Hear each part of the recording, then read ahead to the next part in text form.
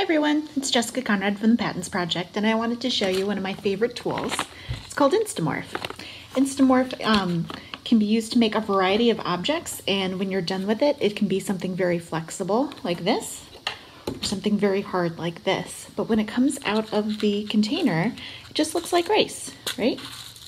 But when I stick it in hot water, it turns clear and moldable Gonna fish this piece out. It's warm to the touch, but not too hot. And I can take this and mold it into whatever I want.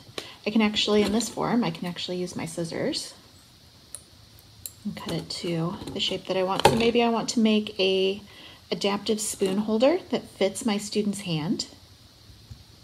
Can mold it to their hand and let it dry until it becomes um, opaque and then it becomes um, nice and flexible when it's thin like this.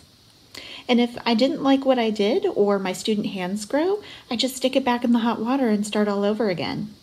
This can be great again for um, adaptive equipment, for um, tactile things. For example, if I let this lay on a mat like this, it'll take on the texture.